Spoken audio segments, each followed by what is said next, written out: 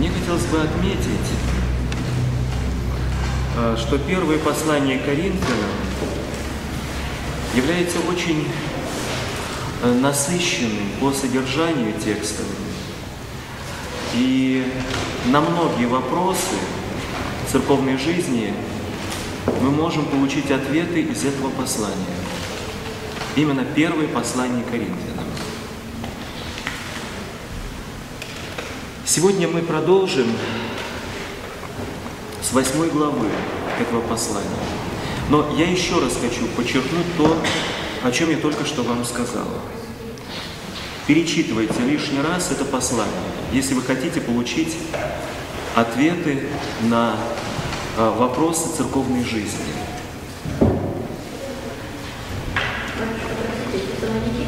Нет, нет. Первое послание Коринфянам.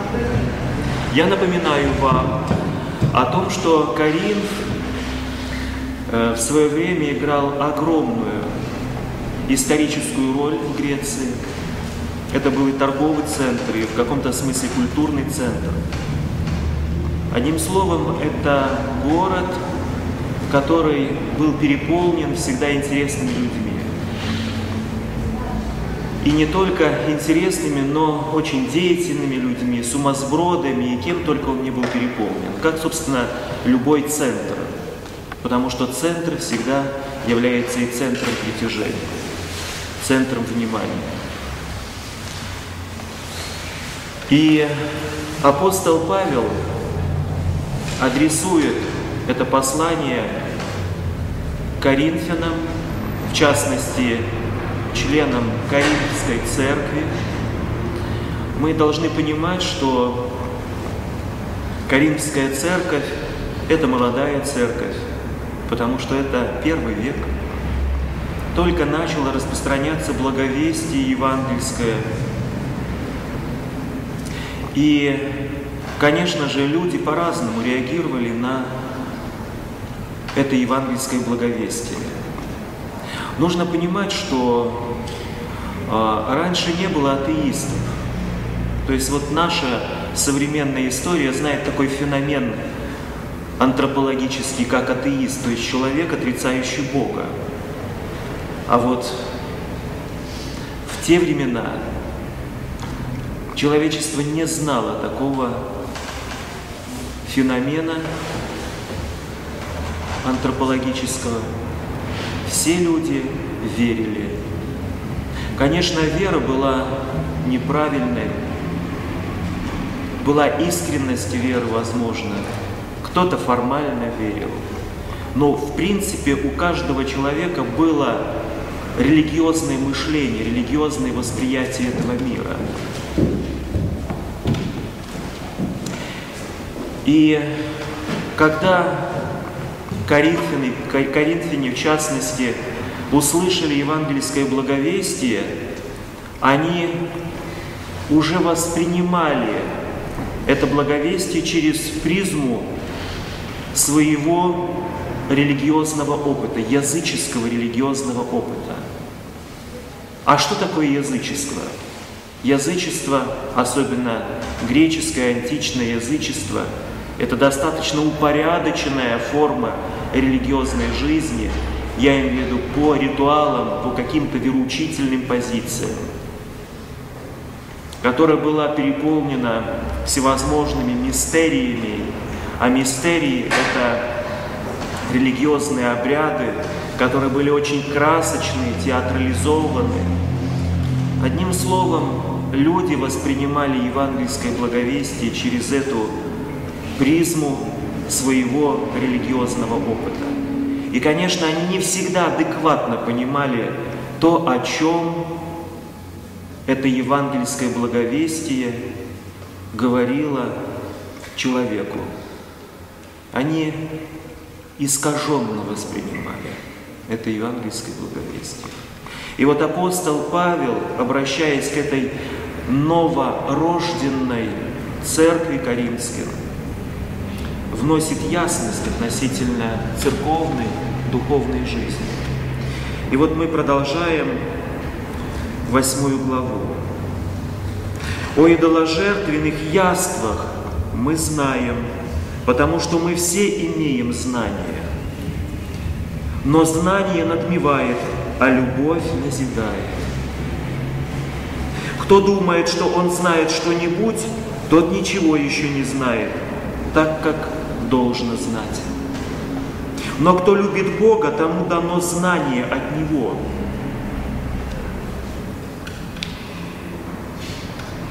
Апостол говорит о знании. У каждого человека есть действительно знание. Даже человек, который еще не пришел в церковь, у него уже есть знание о том, что есть Христос, есть Бог. Но вот не всегда человек имеет правильное знание об этих религиозных предметах. И он говорит о том, что знание само по себе, оно надмевает человека. Ведь действительно ничто так не характеризует личность человека, как насыщенность знаниями. Знания, они делают личность яркой, интересной. С ними интересно общаться. И вот когда человек может задекларировать эти знания, выразить эти знания, он где-то внутри самого себя начинает надмеваться – и поэтому апостол говорит, что только любовь может назидать человека. И кто думает, что знает что-нибудь, тот ничего еще не знает, так как должно знать. Но кто любит Бога, тому дано знание от Него. Это значит, что знание, истинное знание, это то знание, которое мы получаем от Бога. Но это не значит, что мы имеем э, здесь э, речь о том, что апостол Павел говорит о каком-то э, личном откровении Бога к человеку. К примеру, э, как Господь открывал свою волю пророку Моисею или другим пророкам. Нет, в данном случае здесь идет речь о тех знаниях, которые э, известны, которые благовествуются апостолами, учителями церкви. Просто их нужно воспринять, эти знания.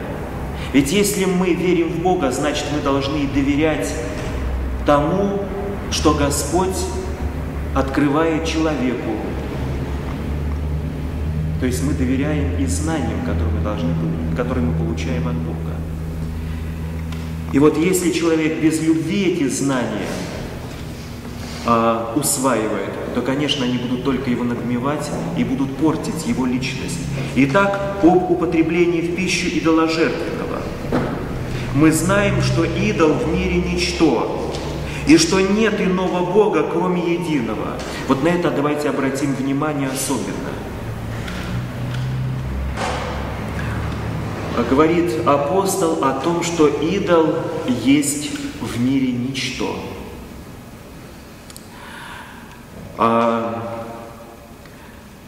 мы должны а, именно четко понимать, что такое идол. Из предыдущих занятий, особенно по Ветхому Завету, мы э, знаем, что идол – это рукотворенная реальность это или какое-то изваяние, или изображение, или это может вообще быть не изображение, не изваяние, даже обычный камень, которому народ э, приписывает какие-то э, божественные свойства, религиозные свойства. Это идол. И вот человек приносит этому предмету, идолу, свое религиозное почитание. Но вот апостол говорит, что он ничто. Он ничего абсолютно не значит в религиозной жизни человека. Это значит, что мы не должны никакого поклонения воздавать идолу. и что нет иного Бога, кроме единого. Ибо хотя и есть так называемые боги, или на небе, или на земле, так как есть много богов, и Господ много, но у нас один Бог Отец, из которого все, и мы для Него, и один Господь Иисус Христос, которым все, и мы им. Мы э, видим, что апостол как будто соглашается с существованием каких-то божеств. Но ни в коем случае не нужно думать о том, что апостол Павел э, говорит всерьез о том, что есть какие-то боги. Нет. Он говорит только о факте, что есть люди, которые воздают почитание идолам, идолам, и поэтому они считают их божествами. Но мы должны помнить о том, что есть только один Бог. Но не у всех такое знание. Некоторые и до ныне совестью признающие идолов едят идоложертвенное, как жертвы идольские, и совесть их, будучи немощно, оскверняется. Вот это очень интересная мысль, на которую мы должны обратить внимание. Понимаете, а современный человек, он мало чем отличается от, в религиозном плане от э, а, каримских христиан того времени.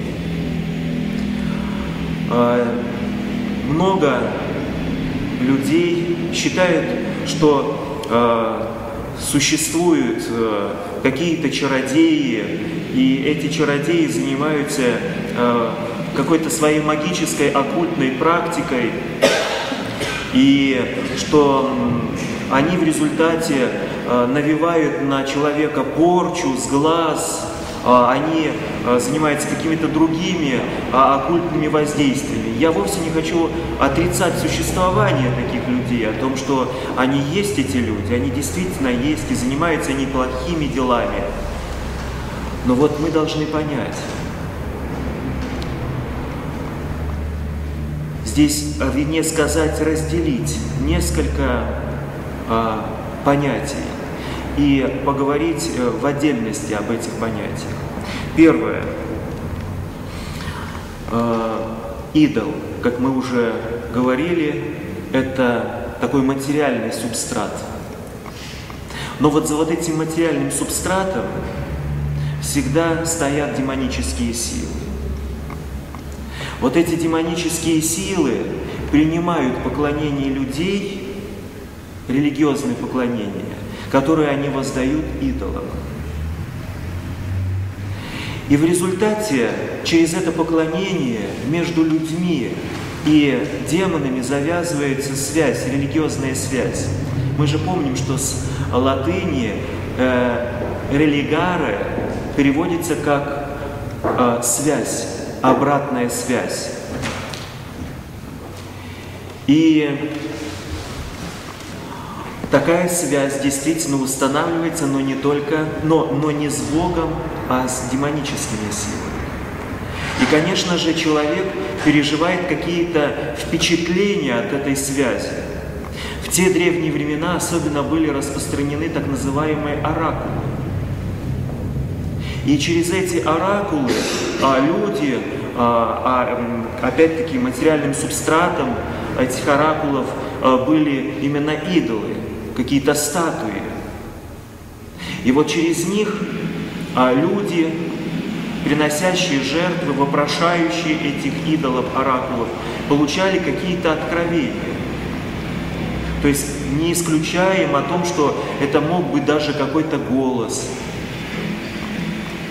все, что угодно могло быть. Конечно, было много и подделок всевозможных, но все равно был какой-то религиозный опыт. Отрицательный, но это был опыт. И вот, апостол Павел здесь говорит о том, что идол есть ничто. Но как же ничто? Если мы говорим о том, что э, что-то же происходит.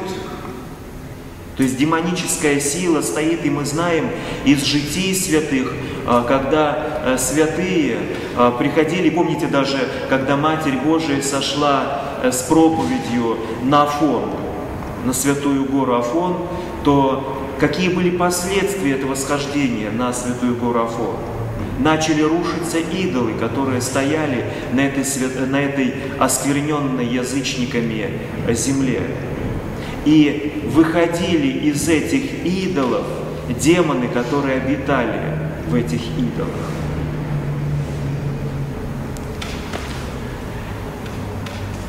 И вот, приносили пищу а, так называемую жертвенную пищу, жертву приносили этим идолам. И ложили в подножие э, идолов на какие-то жертвенники эту пищу. И эта пища называлась идоложертвенной. А затем могли э, от этого идола э, брать какую-то воду или же какие-то другие жидкости и затем окроплять пищу на рынке. То есть много всевозможных таких вот магических манипуляций могли совершать в те языческие времена с пищей.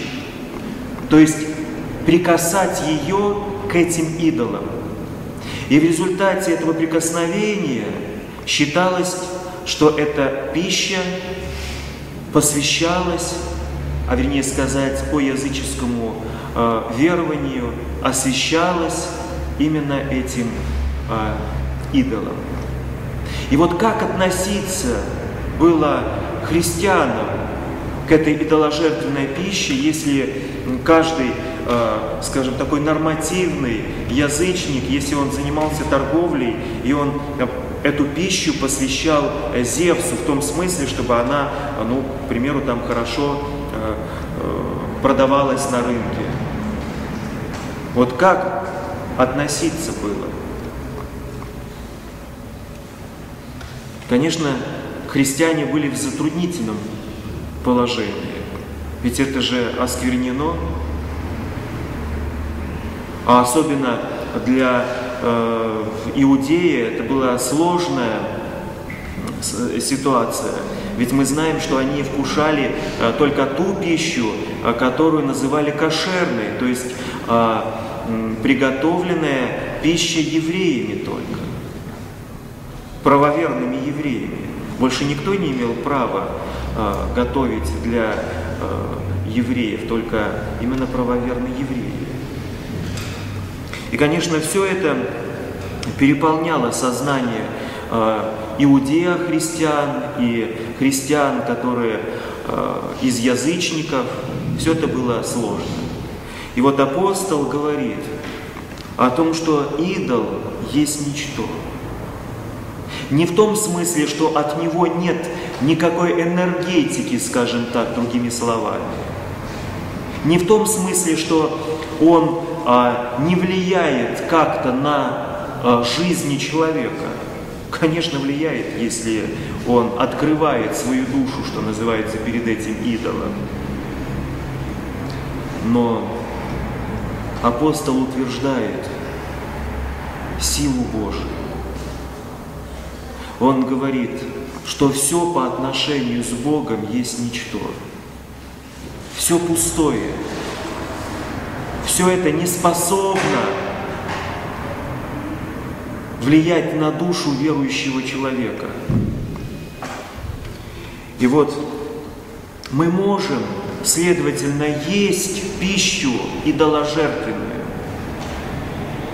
Вот для нас, верующих, современных христиан, а, есть такие люди, которые пытаются э, находить в пище какие-то э, влияния э, там, религиозных культов или иудейских культов, или каких-то оккультных культов на пищу.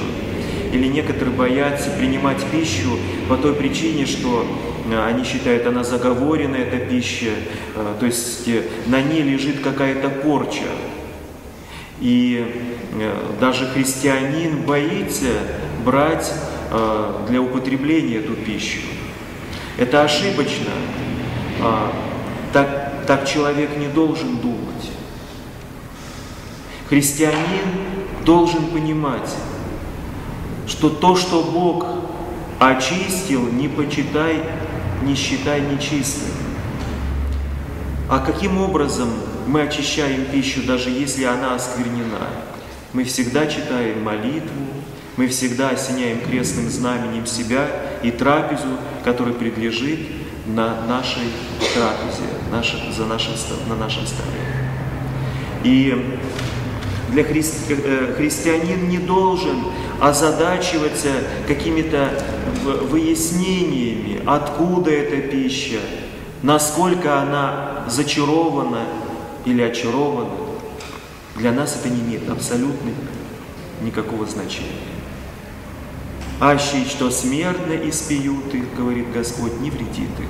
В этом именно свобода христианина и сила его духовной жизни. Мы свободны должны быть от всего, от всякого страха.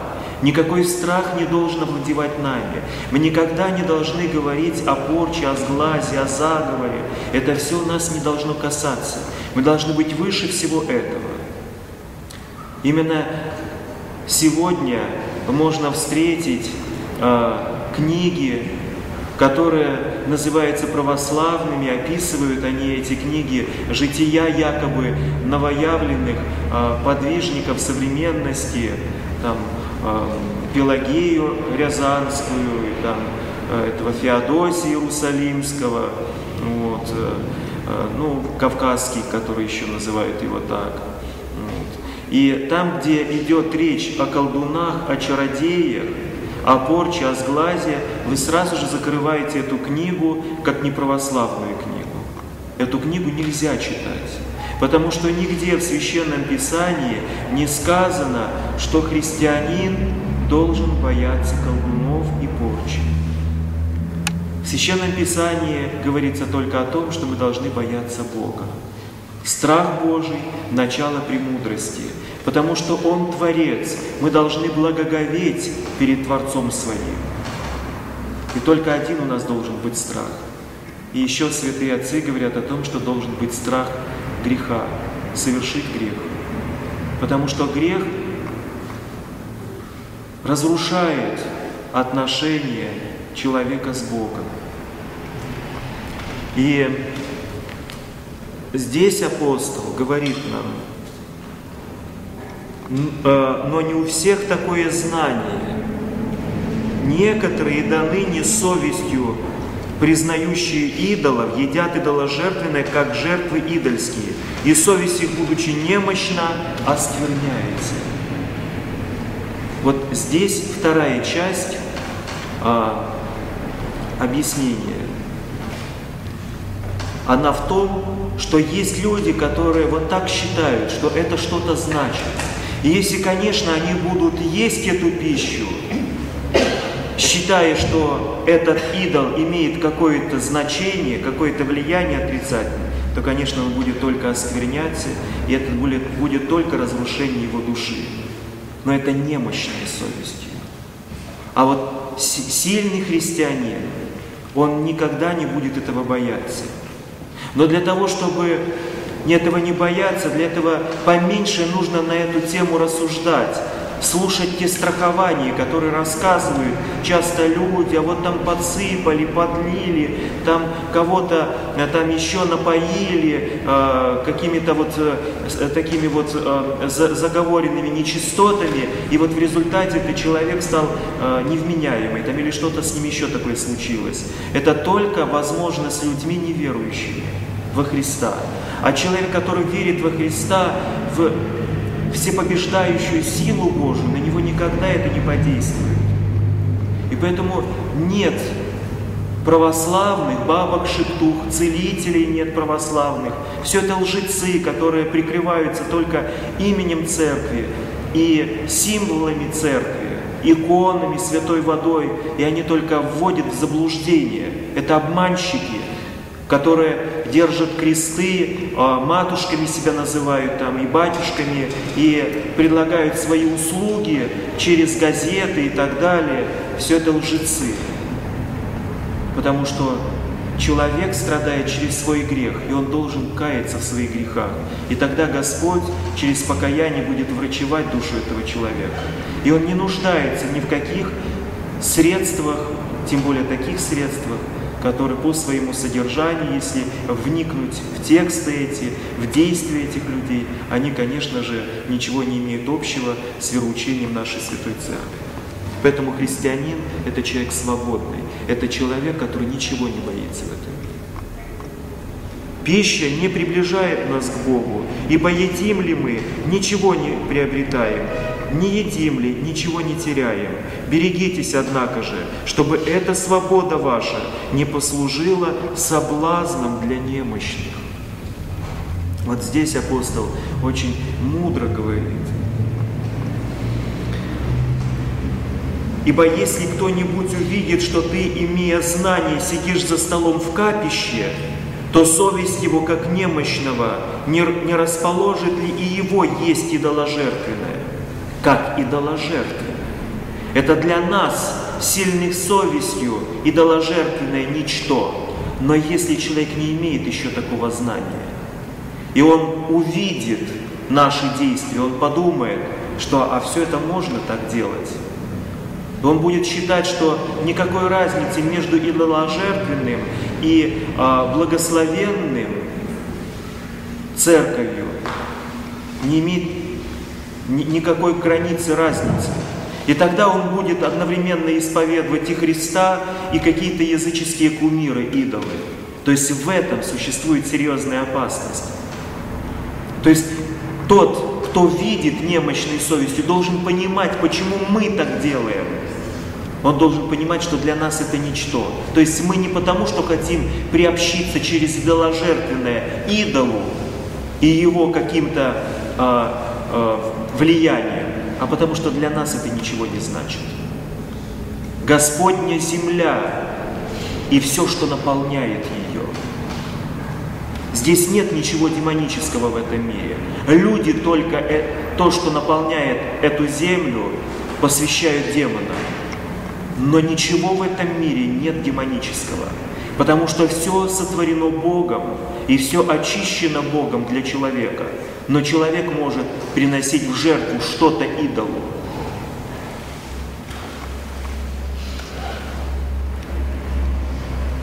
И от знания твоего не расположит ли, простите, и от знания твоего погибнет немощный брат, за которого умер Христос. То есть то, о чем говорил апостол в начале, говорит, что знание само по себе, оно надмевает, и только любовь назидает. Это значит, что мы этими знаниями должны пользоваться только через любовь. Мы должны понимать немощный, немощность другого человека. Только через любовь мы должны давать эти знания. Потому что если мы будем так надменно, ну что, ты ничего не понимаешь, то есть мы будем с упреком сверху вниз смотреть на этого человека, осуждая немощную совесть этого человека, то, конечно же, мы только навредим, и погибнет брат наш, говорит апостол. Поэтому мы должны правильно, с любовью назидать, имея такое знание, за которого умер Христос.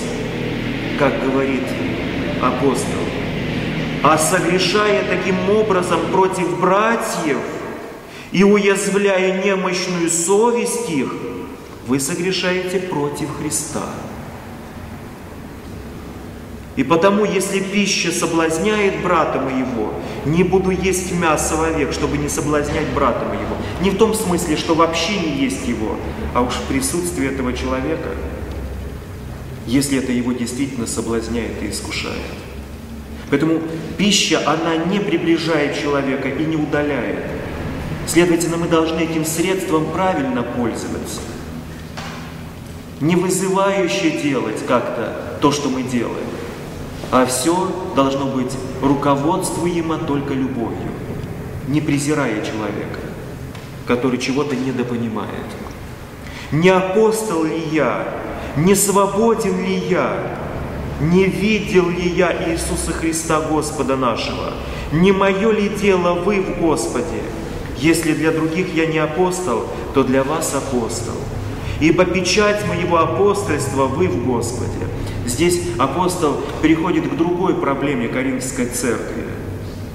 Вот мое защищение против осуждающих меня. Или мы не знаем власти есть и пить, или не имеем власти иметь спутницу и сестру, жену, как и прочие апостолы и братья Господни Кифа. Здесь апостол говорит о том, что э, апостолы имеют право на брак, и только один из апостолов, 12, был э, безбрачен, апостол Иоанн Богослов. Все остальные апостолы из 12 были в браке, в законном браке. И когда он говорит здесь, что спутницу и сестру, жену, то идет речь о том, что сестра, она во Христе, но жена законная в браке. И говорит также он о том, что или мы не имеем власти есть и пить, а ведь именно за это часто осуждают духовенство и говорят, ну а как же, вы что, в туалет даже ходите? Вы что, должны есть и пить? Вы только должны стоять у престола Господня. И действительно, такие упреки часто можно слышать. И вот апостол говорит о том, что мы имеем на это право и быть в браке, и есть и пить. Но, конечно, не идет здесь речь. Он же говорит, что э, э,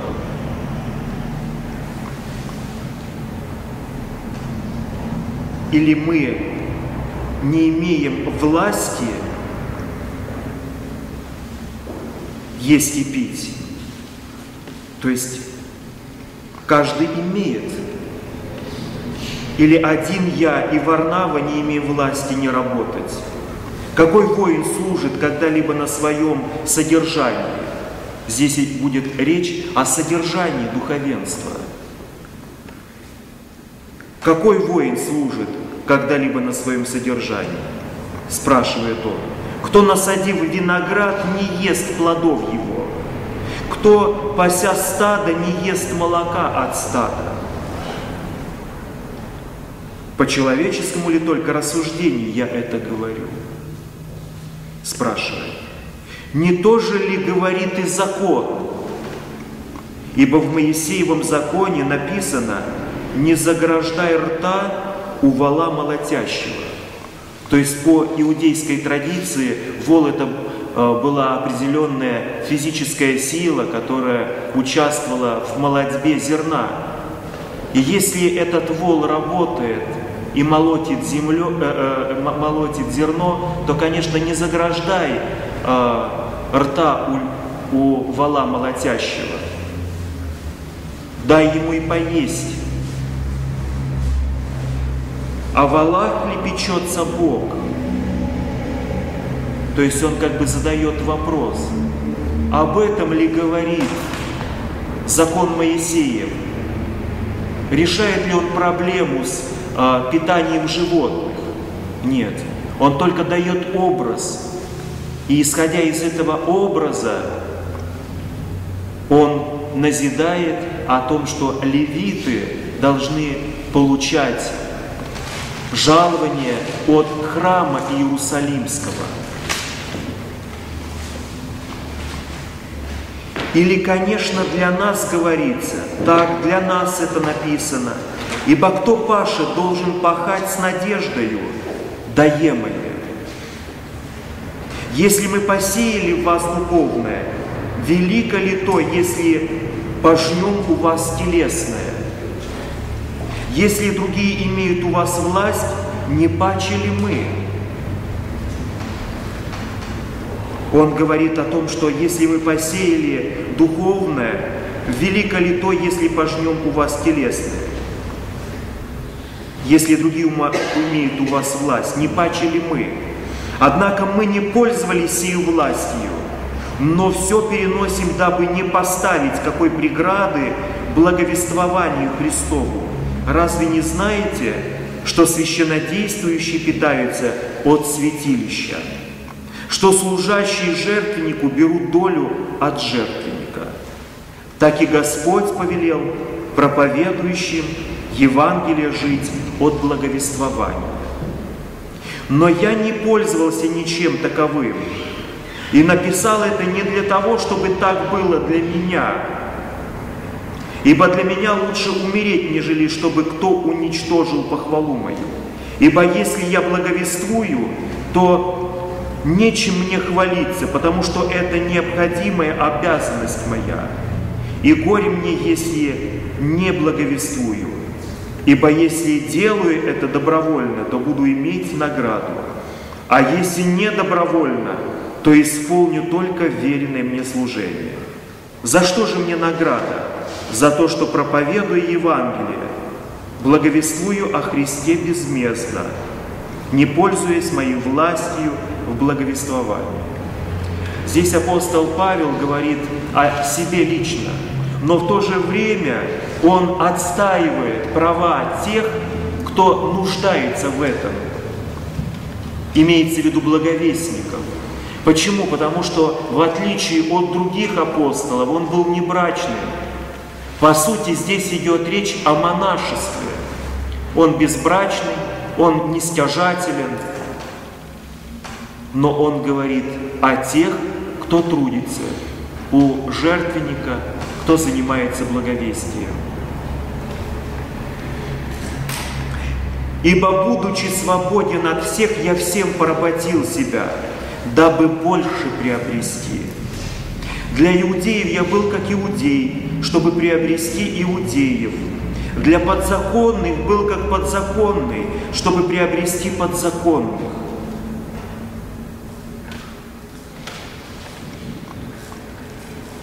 Чтобы приобрести подзаконных. Здесь понятно, о чем идет речь. Он говорит о своей миссионерской проповеди среди иудеев, которые еще почитали закон Моисеев. И это почитание закона Моисеева для иудеев, которые еще были очень близки к Иерусалимскому храму, к синагоге, для них было сложно сразу отказаться от закона Моисеева. И поэтому помните, э, что апостол Павел, несмотря на убеждения, он высказал эти убеждения и сказал, что обрезание есть ничто, и не обрезание есть тоже ничто. То есть оно не имеет абсолютно никакого значения для христианина. Оно пустое. Что обрезание, что не необрезание. Но тем не менее, он ради миссии среди иудеев обрезывает своего ученика Тимофея. И также он дает обед в Кинхрее. И также он еще совершает обряд назарейского а, чинопоследования. Это все в деяниях апостольских мы уже исследовали. То есть мы видим, а, что он ради того, чтобы совершить главное, отказывается от второстепенного, от каких-то э, формальностей. Для чуждых закона, как чуждый закона, не будучи чужд закона перед Богом но подзаконен Христу, чтобы приобрести чуждых закона. Для немощных был как немощный, чтобы приобрести немощных. Для всех я сделался всем, чтобы спасти, по крайней мере, некоторых. Сие же делаю для Евангелия, чтобы быть соучастником его. Вот именно это очень важный миссионерский апостольский принцип. Потому что действительно приходится миссионеру, апостолу говорить на языке своей аудитории. Он иногда говорит на языке а, очень, может быть, а, неприспособленном языке а, для христиан. То есть иногда кажется, что этот язык а, даже является в каком-то смысле а, ну, кощунственным. Но а, так вот, а, конечно, с плеча рубить и говорить, что вот этот миссионер, он является а, кощунником или богохульником, конечно, нельзя. Особенно в наше современное время, а, когда очень много субкультур всевозможных. Это раньше люди жили более-менее в одной какой-то а, традиции, в одном каком-то э, восприятии, ментальности. А сейчас, поскольку мы живем в эпоху глобализации, мы через интернет, а, через телевидение, через масс-медиа, другие, мы получаем огромное количество информации, и, следовательно, человек формирует свое представление о мире через какие-то другие традиции, которые ранее никак не были связаны с его народом. И вот а, среди этих субкультур а, современности приходится проповедовать а, нашему современному миссионеру. И, конечно, приходится говорить не на адекватном языке для того, чтобы быть понятым именно этой аудиторией. Это очень сложно, и поэтому, особенно сейчас, много конфликтов между такими зелотами, которые очень ревностно воспринимают как они считают, чистоту веры, но вы знаете, это очень сложно все. Что такое чистота веры?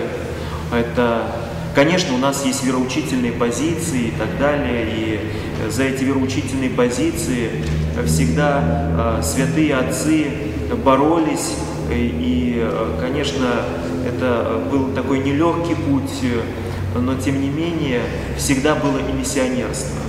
Конечно, я сейчас не буду э, приводить какие-то конкретные примеры, потому что э, ну, их достаточно. Я пока просто остановлюсь на том, что, э, скажем, миссионер – это человек, это подвижник. Вот. Другое дело, что если он какой-то неправильный миссионер, вот, но если он действительно настоящий миссионер, он будет говорить не на совсем понятном для нас языке. За это мы не должны его осуждать. Все познается по плодам. Апостол Павел тоже был в этом смысле.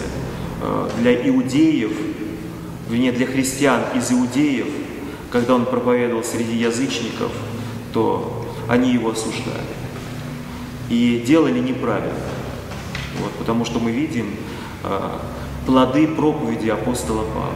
Если бы он не проповедовал среди язычников, то тогда и мы ничего не знали бы о Христе. Мы, не бы, не, мы бы не приобщились к евангельскому благовестию. Не знаете ли, что бегущие на ресталище бегут все, но один получает награду. Ресталище – это конские бега там и так далее, это такие состязания э, античного мира, спортивное состязание. Так бегите, чтобы получить.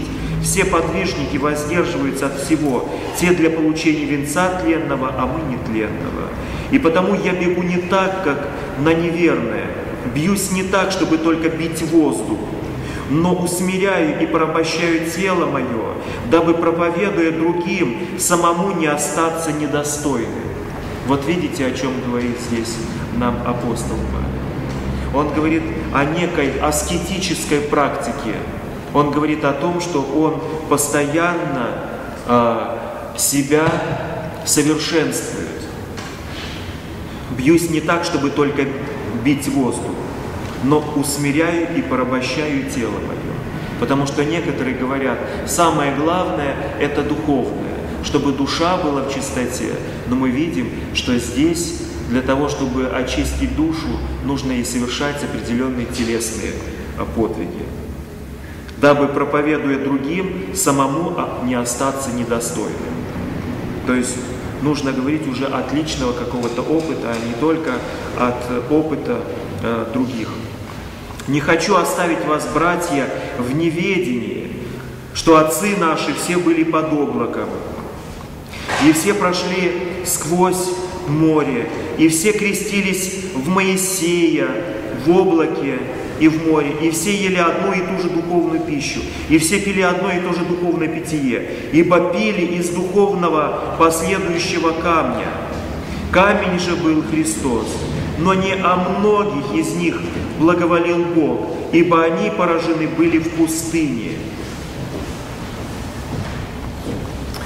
И здесь очень важные слова говорит апостол, что несмотря на то, что евреи были э, народом Божьим, но в то же время э, не о многих из них благоволил Бог, ибо они были поражены в пустыне.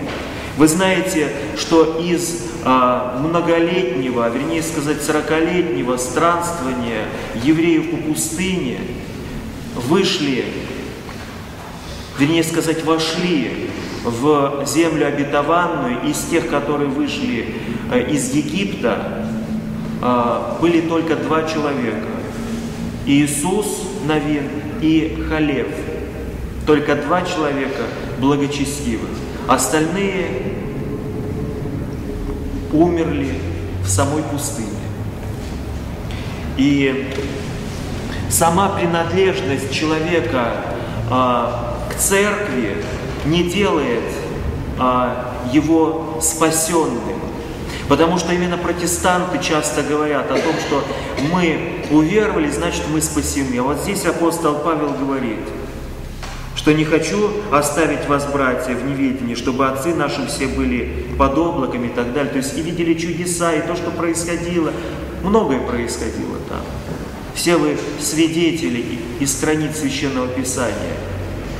Но тем не менее, ожесточались они, помните, совершали грех, и Господь в результате отверг их, и не смогли войти в землю обетованную. Ведь именно ради этого они вышли из а, Египта.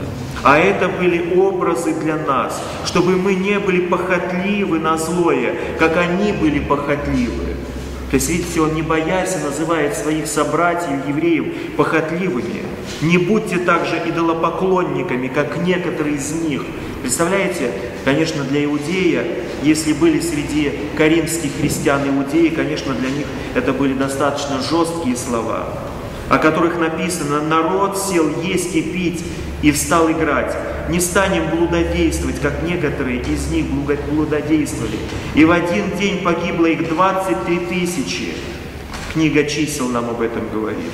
Не станем искушать Христа, как некоторые из них искушали, и погиб, погибли от змей. Не ропщите, как некоторые из них роптали, и погибли от истребителя. Все это происходило с ними как образы, а описано в наставлении нам, достигшим последних веков. Посему, кто думает, что он стоит, берегись, чтобы не упасть. Вас постигало искушение не иное, как человеческое, и верен Бог, который не попустит вам быть искушаемыми сверх сил, но при искушении даст и облегчение – так, чтобы вы могли перенести эти слова, должны для нас быть огромным утешением. Потому что Господь как бы говорит о том, что нет беспредела в этом мире зла, злу. Зло не может беспредельничать, оно имеет пределы. И эти пределы устанавливает Господь своей любовью. Только для нашей пользы человек может претерпевать какие-то испытания в своей жизни. Итак, возлюбленные мои, убегайте идолослужения. Я говорю вам, как рассудительным, сами рассудите о том, что говорю. Именно идолослужение здесь а, является вот эта боязнь человека идоложертвенного, боязнь всякой порчи, боязнь совершить какие-то вот второстепенные а, вещи – Чаша благословения, которую благословляем, не есть ли при общении а, крови Христовой. Хлеб, который преломляем, не есть ли при общении тела Христова. Один хлеб, и мы многие одно тело, ибо все причащаемся от одного хлеба. Посмотрите на Израиля по плоти. Те, которые едят жертвы, не участники ли жертвы? Что же я говорю? То ли, что идол есть что-нибудь, или идоложертвенное значит что-нибудь? Нет. Но что язычники, принося жертвы, приносят бесам, а не Богу. Вот кто делает идолов персонажами истории. Люди, принося им жертвы. Только они актуализируют их бытие, их историческое влияние на человека. Если не приносят жертвы, если не поклоняются им, этим идолам, значит и они не имеют никакого влияния на человека. Все зависит от того, насколько человек на них обращает внимание, свое религиозное внимание. Но я не хочу, чтобы вы были в общении с бесами. Не можете пить чашу Господню и чашу бесовскую. Не можете быть участниками в трапезе Господней и в трапезе бесовской. Здесь он говорит о том, что невозможно совмещение каких-то религиозных практик. Мы не можем в себе этого совместить. Неужели мы решимся раздражать Господа? Разве мы сильнее Его? Все мне позволительно, но не все полезно. Все мне позволительно, но не все назидает. Никто не ищи своего, но каждый пользы другого. Вот этот принцип очень важен для каждого из нас. Потому что мы должны действительно думать, а какие могут быть последствия для жизни человека наше поведение. Ищи пользы для другого. Несмотря на то, что нам полезно или что-то позволено, но для кого-то это может быть соблазн. вот это очень важный момент. Все, что продается на торгу, ешьте без всякого исследования, то, о чем я уже говорил, для спокойствия совести. Вот видите как.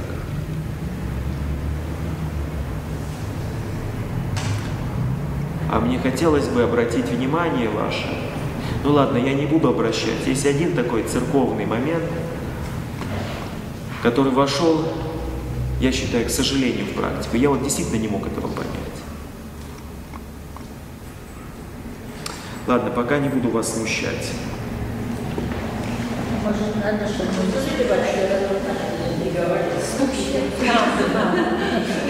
Хорошо, хорошо, я знаете, мне непонятна совершенно история с Федором Тироном. Вы помните, значит, в Великом посту, вот, помните про Колева историю? Вот я, честно говоря, вот я не могу вот как-то связать одно с другим. Вот помните, он, Федор Тиран, явился местному епископу о том, что э, пища на рынке была осквернена идоложертвой. Это, я думаю, там не сходится. Не сходится, понимаете? И вот нужно заметить, что в церкви есть такие моменты, когда э, вот что-то вошло в церковь, да, и оно вовремя не было изгнано из жизни церковной. И в результате оно как бы канонизировалось в церковь. Понимаете? И вот с одной стороны, мы действительно не можем никак это связать. Правда? Вот никак не сопрягается одно с другим. Потому что он говорит, ешьте и не размышляй даже. Потому что у нас есть огромная сила в наших руках – а я думаю, если Крест. там все осквернено, то и Колеваш было осквернено тоже.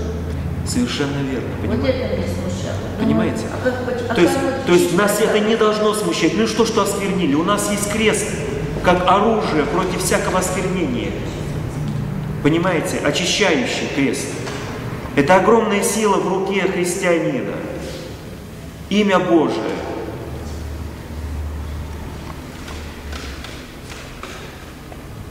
А будем варить Колеву все равно. Уже традиция. И понимаете, вот э, с одной стороны, вот, вот сейчас вот, а, вот скажем, есть такие моменты, которые вот я честно вам скажу, я делаю только по той причине, что опять-таки не хочу смущать совесть, понимаете, немощной совестью. А потом разногласия. А потом разногласия, понимаете. Но с другой стороны, в некоторых случаях я все-таки стараюсь об этом сказать. Почему? Потому что если об этом не говорить, то формируется опять-таки, понимаете, это боязнь всякого осквернения. У нас единственная скверна, которая может осквернить человека, это участие во грехе. Когда мы по своему произволению, по своему волеизъявлению принимаем грех, совершаем его, участвуем во грехе.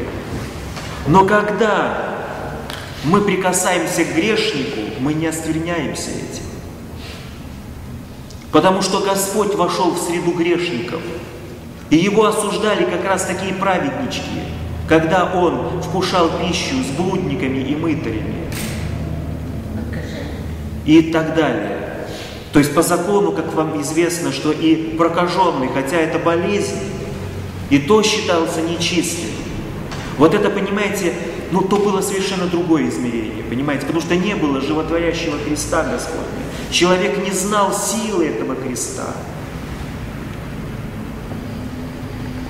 То было все по-другому. И, конечно, ну, об этом действительно можно много говорить. Когда-нибудь, может быть, а, я все-таки а, скажу о каких-то еще а, моментах, вот, потому что ну, для этого действительно должно быть и время, и, и какие-то основания, может быть, Но причины. те же оглашения. Оглашения в других церквах проводят. Понимаете? Ну хорошо, оглашение изыдите. Да. Никого А ведь это пустословие. А ведь это самое настоящее пустословие, А мы все понимаете? оглашения, мы должны все выйти. тогда. Нет, секундочку, нет. Оглашенные, вы должны, понимаете, говорить на языке церкви, а мы не должны говорить на языке предположений. Оглашенный – это совершенно определенный человек, который готовится к принятию святого крещения, изучая истины христианские. Он познает Христа по слову апостола «Я знаю, в кого я уверую». Он приобретает знания для того, чтобы как можно больше довериться Христу.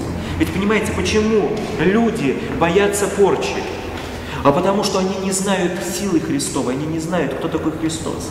Они знают а, а, силу зла, антихриста и так далее, и так далее. Они трепещут перед этой силой, перед этой агрессивной злой силой. Но ведь сила Христа, сила нашего Бога, она безгранична. Он сотворил этот мир, Он его преображает, Он его спасает, этот мир. И читаешь вот это Пел- Пелагея Рязанской, что вот бойтесь, такие даже есть выражения, цитата, бойтесь э, колдунов и, э, и чародеев. Что это такое? На чем можно основать такие знания? Поэтому не читайте этих житий современных, я вам сразу А скажу. мне дали кассету, я не смогла слушать. Невозможно, это коробит. Послушала несколько предложений и отключила. Это, а, а понимаете, а, вспоминается тоже там такой, понимаете, момент. Я не. А, а, какая-то тоже вот э, из так называемых вот со- современных говорит, вот матушка видела а, сон, а, шли какие-то девицы по мосту с накрашенными губами и пальцами, и они упали с моста и оказались в какой-то жиже там такой вязкой и огненной, вот, и погибли. И вот вопрос, вне, она делает вывод, что вот, какие они плохие, плохие, да, вот, и в результате они оказались там, именно в этой адской жиже, да. Но давайте мы сделаем простой вот евангельский экскурс. А Господь смотрит на лица или на сердца? На сердца. А на что они посмотрели? Совершенно верно. Вот уже только по этой причине несостоятельность такого восприятия, понимаете, жизни. Красить людей, потом покаяться. Господи помилуй. А этот человек будет осужден. Почему? Потому что он, понимаете, с таким убеждением будет ходить. Тот, кто согрешил, тот покается, а тот, который подозревает, который осуждает, с этим будет жить. осудила, понимаете? Мелочь, мелочь. Это, это, понимаете, это мелочь, которая, я считаю, что она настолько вошла именно в э, жизнь нашей современной э, церкви, это постоянная боязнь какого-то осквернения от каких-то колдунов, порч и так далее, и так далее.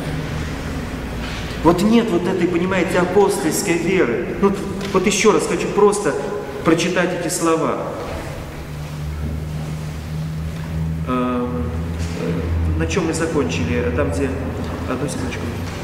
Эм, Все, что продается на торгу, ешьте без всякого исследования для спокойствия совести. То есть имейте в виду идоложертвенным, о котором только что. Не испытывайте, не задавайте целью, не мучайте себя и других. У вас есть сила креста Господня. Водичка. Конечно, но если тебя так смущает, ну возьми, осени крестом, окропи святой водичкой. Для этого и дается нам. А ведь, понимаете, даже как к святой воде относится. Я неоднократно зачитывала, можно сказать, каждый год зачитываю указания церкви относительно того, как нужно пользоваться святой водой. Что, помните, мы кропим везде, в скаридных местах, то есть в местах скверных с точки зрения именно такого вот восприятия, о котором мы только что говорили. И не бойтесь этого. И под ногами суть говорится в этом.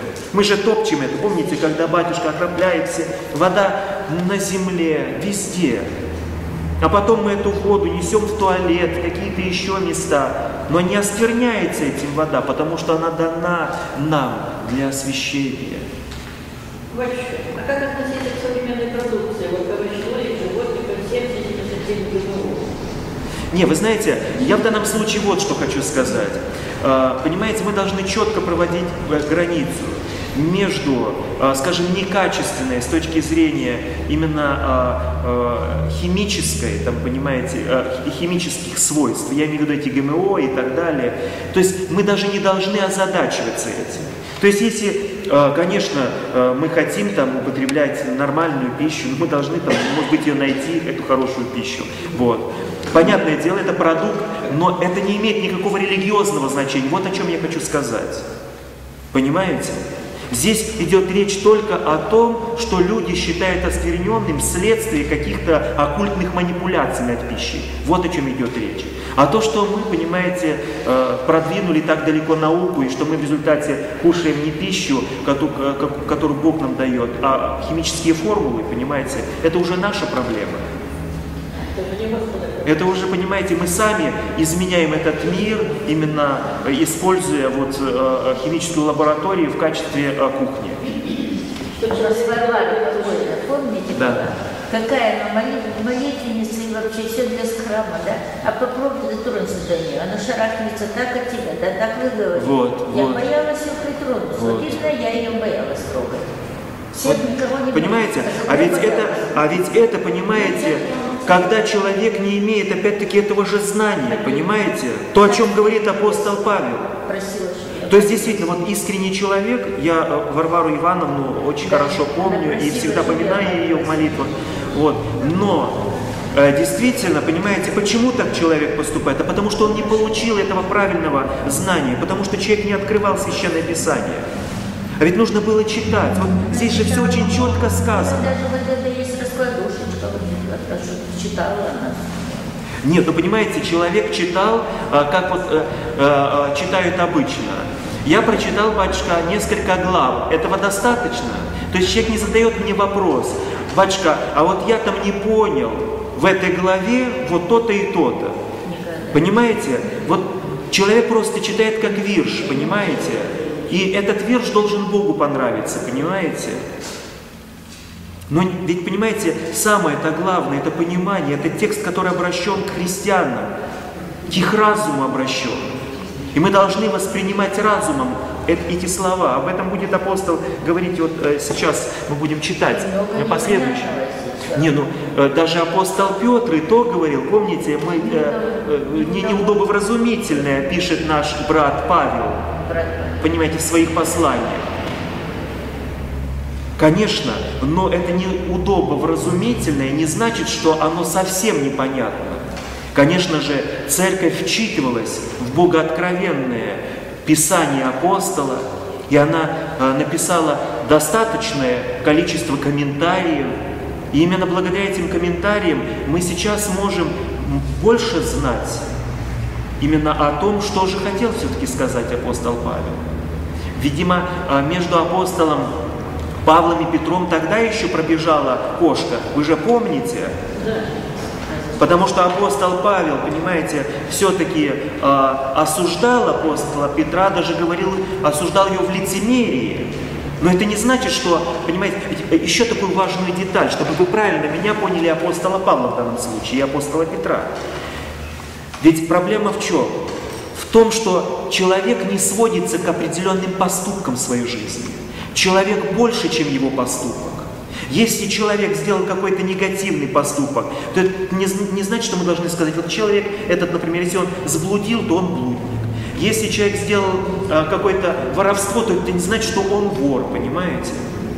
Человек больше, чем его поступок. Сегодня он своровал, заблудил, а завтра он, понимаете, совершил дело милосердия, завтра кого-то спас и так далее. Поэтому, или, например, человек, который всю жизнь делает какие-то там плохие поступки, сделал хороший поступок, мы же не говорим, что он очень хороший человек. То есть, понимаете, только Бог может оценить жизни человека без всякого пристрастия и сказать, что же на самом деле человек представляет собой. И он может осудить его или на, на спасение, или в погибель. А мы, как правило, понимаете, вот сводим жизнь человека к определенному поступку. Не, нельзя так делать. Человек больше, чем его поступок, это я подчеркиваю.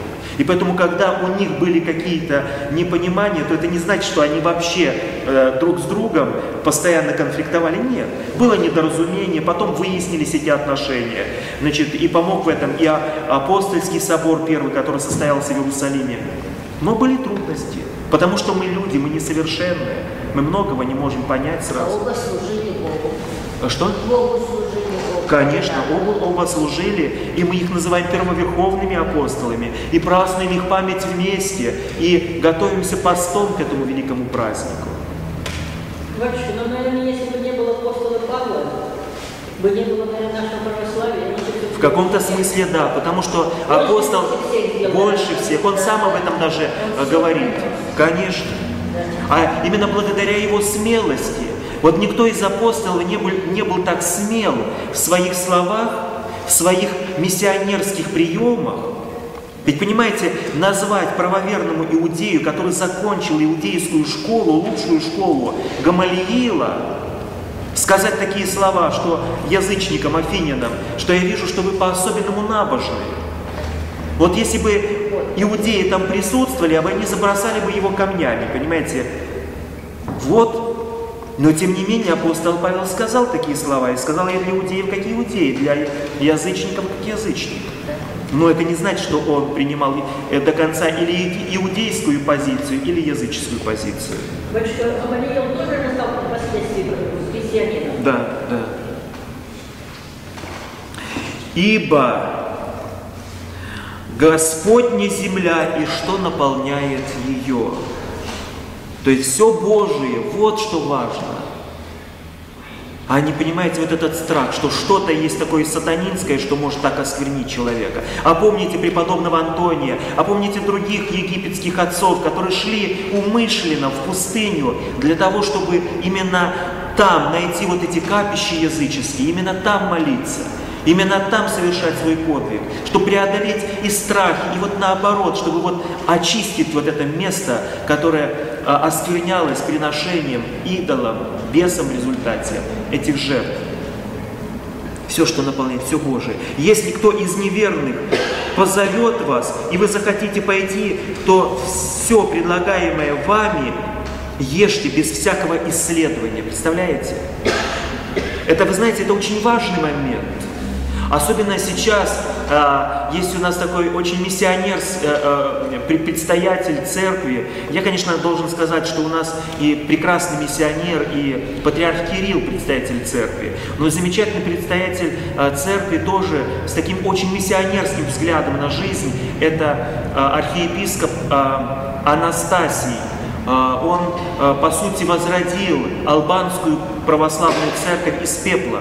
Ее уже не существовало. Вот она в катакомбах, там какие-то были э, священники и христиане. По сути, полностью уничтожалось всякое э, э, знание вообще о, о, церкви, о Христе, все, что с этим было связано. Это самый был коммунистический тоталитарный режим именно в Албании в Албании. Именно там он возродил в эти нов, э, новейшее время, это уже в 90-е годы, церковь. Она э, сейчас э, в очень близких... Что-что? Албания это сейчас Македония? Нет, нет, нет. Албания это отдельное государство. Это именно государство, это э, геополитическая единица. А Африке Нет, нет, нет. Дело в том, что албанцы, э, как этнос, а, значит, они проживали на территории Сербии, в Косово. И вот они а, захотели а, создать независимое государство от Сербии. Это другие албанцы. Понимаете? И Азербайджан современный, вот, это территория Албании тоже, это тоже были албанцы, назывались албанцы. Да. Так вот, именно э, там э, уникальный, э, именно в, в нашем вот, современном э, пространстве, э, я бы сказал, такой альянс взаимоотношений между православными и мусульманами. Мусульмане посещают православные праздники, православные посещают мусульманские праздники. Они в очень добрых отношениях, они участвуют в крестных ходах э, мусульмане с православными. Вот, то есть они э, именно вошли в эту новую э, э, жизнь э, после атеистического периода э, с именно пониманием друг друга, что они дети Божии. Это не значит, что, понимаете, начинает где-то смываться вот эти грани между именно православием и исламом. Ничего подобного. Анастасий, архиепископ, который был миссионером в Индии, там, в Африке, нет, в Индии, прошу прощения, хотя, по-моему, даже в Индии он был. Но в Африке я точно знаю, что он имел успех э, в своей проповеди. Э, среди э, язычников, африканцев. И он э, смог действительно создать особую атмосферу такой вот раннехристианской любви по отношению ко всем, ко всем людям. Вот. И вот действительно там вот, вот это отношение православных к мусульманам очень и очень, понимаете, христианское. Вот так как мы читаем но вы знаете, опять-таки, э, э, доброе, э, доброе отношение православных к мусульманам, это не значит какой-то прозелитизм. А вот вы знаете, мы такие хорошие, вот, но мы еще станем лучше, если вы креститесь, понимаете? Конечно, такого прозелитизма нет. И если кто-то хочет для себя из мусульман перейти, понимаете, он примет такое решение, потому что он видит, что это нормальные люди. И я не исключаю того, что, понимаете, там принимают православие мусульмане. И те говорят, что э, православные не могут жить в мире с мусульманами, то мы видим именно прекрасный пример. Но православные не пойдут к мусульманам. Ну терпимость вот создали.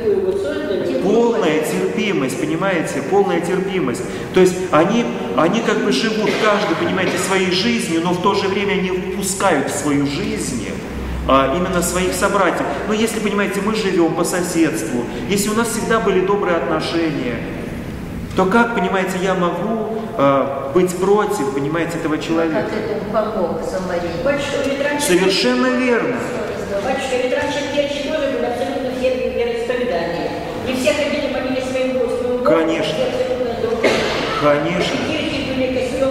Все было, понимаете? И вот у меня есть, э, у меня есть э, э, дореволюционный журнал значит, всех домов, это 1905 год, по-моему, 1905, где перечисляется, кто в каком доме в Керчи жил.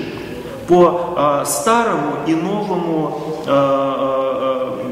номерованию. Потому что вначале было просто так.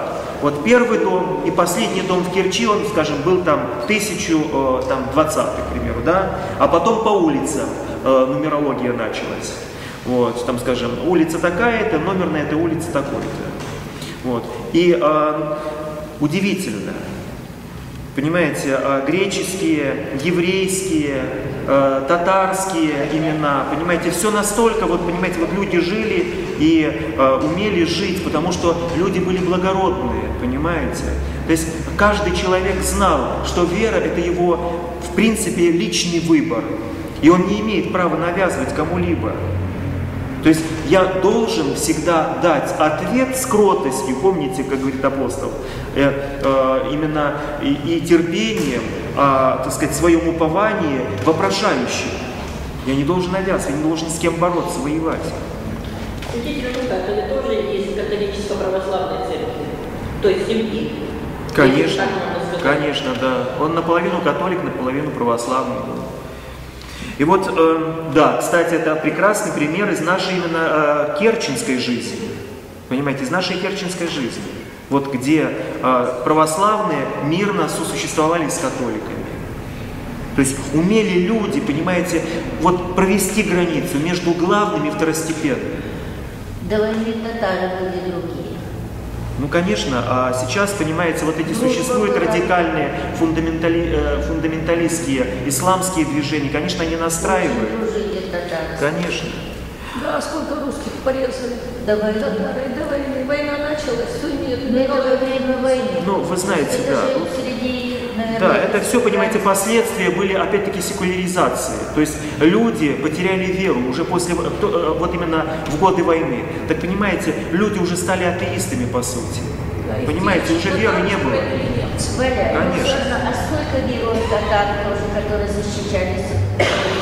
Но если кто скажет вам, это идоложертвенное, то не ешьте ради того, кто объявил вам, и ради совести, понимаете?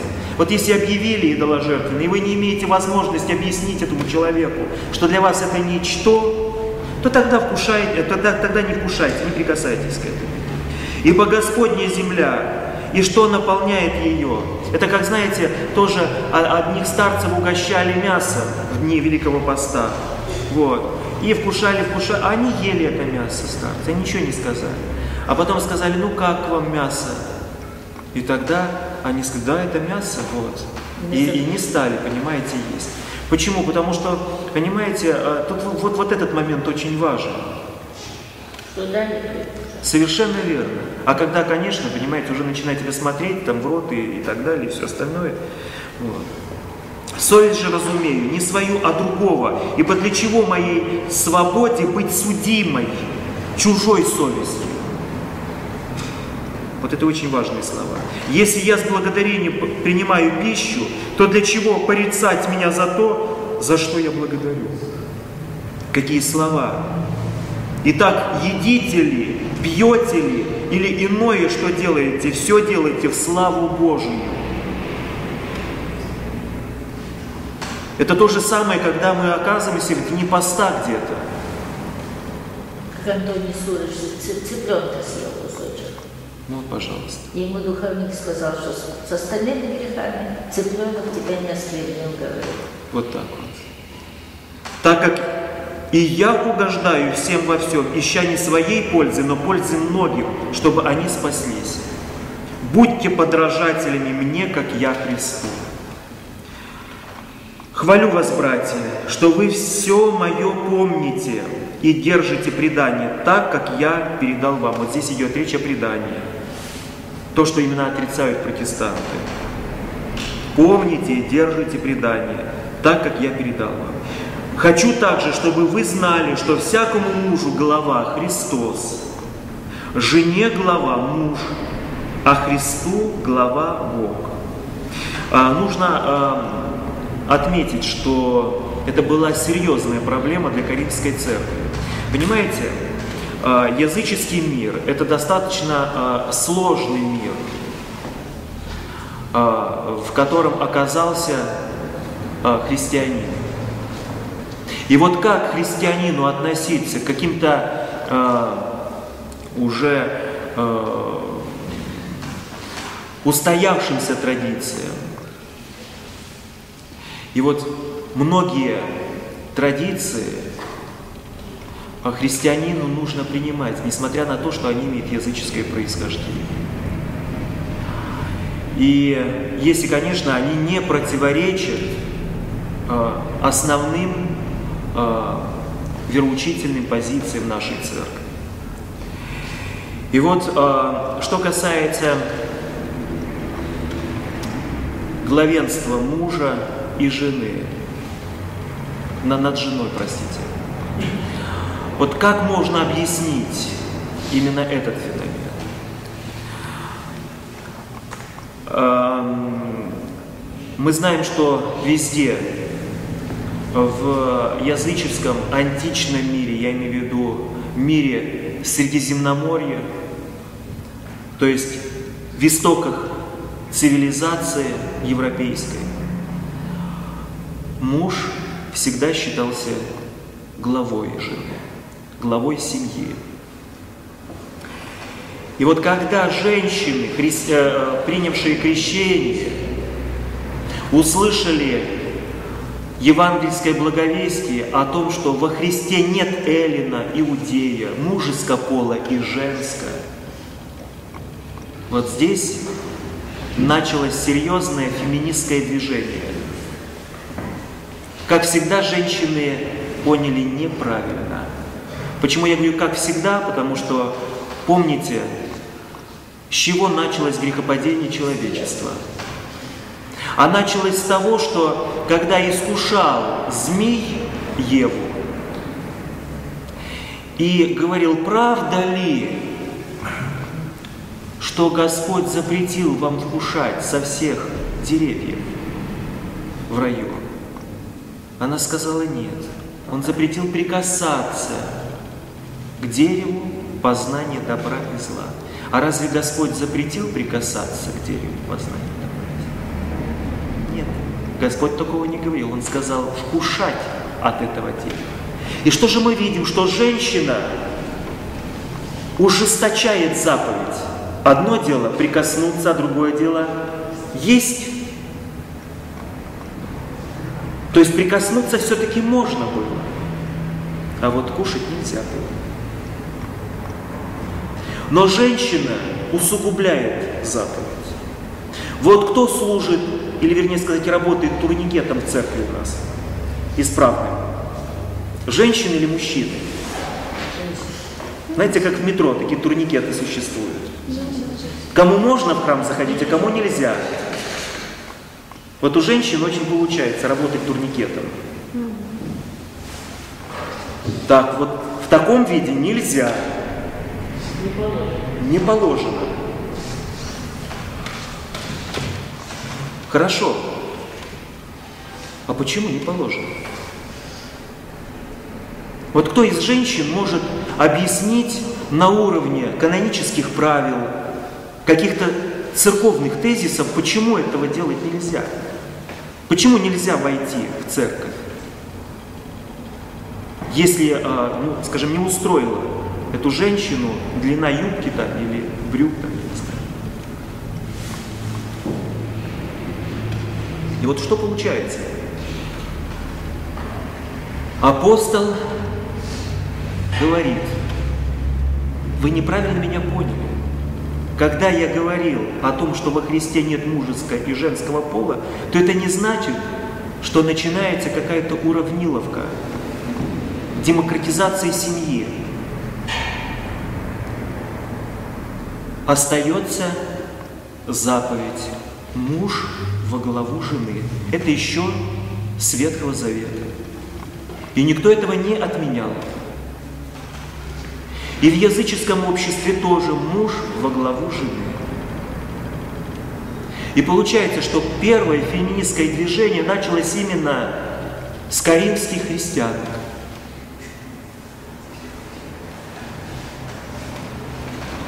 И вот, он подробным образом объясняет. Хочу также, чтобы вы знали, что всякому мужу, глава Христос, простите, я уже прочитал это, всякий муж молящийся, или пророчествующий с покрытой головою постыжает свою голову. И всякая жена, молящаяся или пророчествующая с открытой головою, постыжает свою голову. Ибо это тоже, как если бы она была обритая.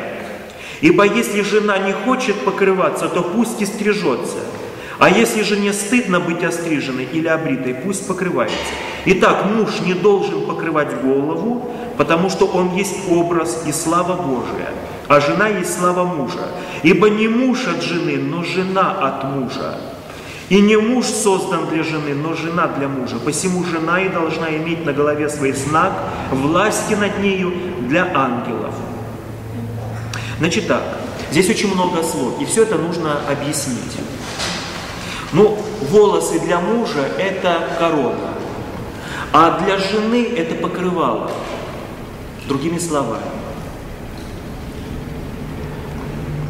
И длина волос женщины, вот помните, традиции, старые традиции, старой закалки, женщины совсем не остригали волосы. И были волосы очень длинные, действительно как покрывало. И вот апостол объясняет, почему муж должен быть с открытой головой, а жена с покрытой.